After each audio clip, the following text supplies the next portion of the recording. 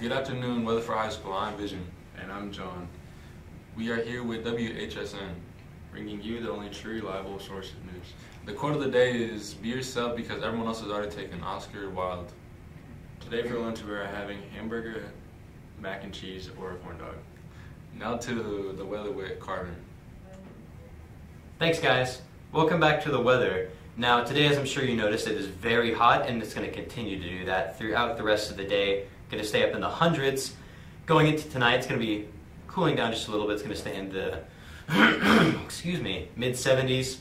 Going into tomorrow, still going to be very hot. Not as hot, though, on the plus side. It won't be up in the hundreds, but still going to be sunny and hot. I'll send it back to you guys.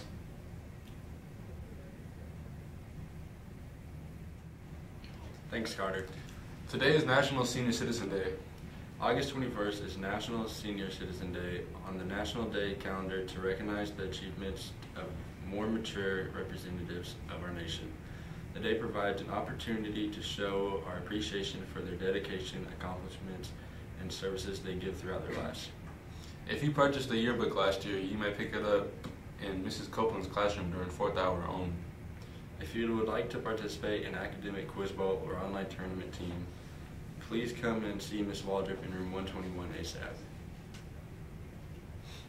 If you would like to audition for the one act play and have already stopped by Mrs. Dara's room, um, room in the pact, please do so as soon as possible. Auditions will be held in the PAC Wednesday after school and Tuesday during PLC hour. If you would like to participate in, in speech and debate competitions, please come see Mrs.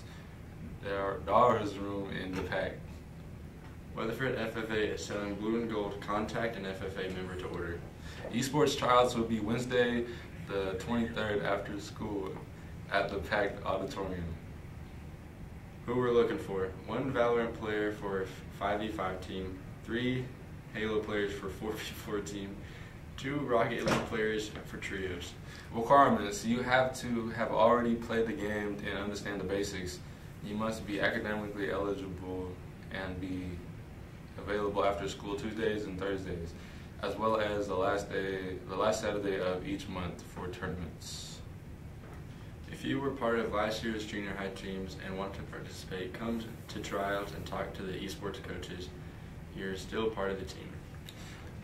The first after-school meeting of the, Na- the Weatherford Public Schools Native American Club for this school year will be will be held on Tuesday, September 5th from 3:30 to 7 p.m.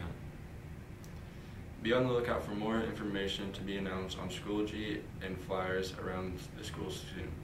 Contact Mr. Gunselman with any questions. That's all for today. We hope you have a good afternoon, a good night, and a good morning. And as always, Go Eagles! Yeah.